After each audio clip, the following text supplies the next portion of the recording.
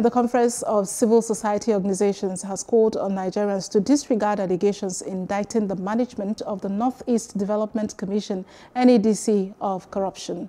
Chairperson of the group, Adams Otaku, who made the call while addressing journalists in Abuja, stated that until proven guilty, it is wrong to accuse the agency of fraud.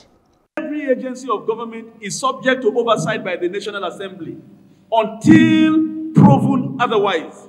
It remains an allegation. We have only been able as a watchdog of society to report our assessment and our findings based on our own private, independent assessment that we conducted.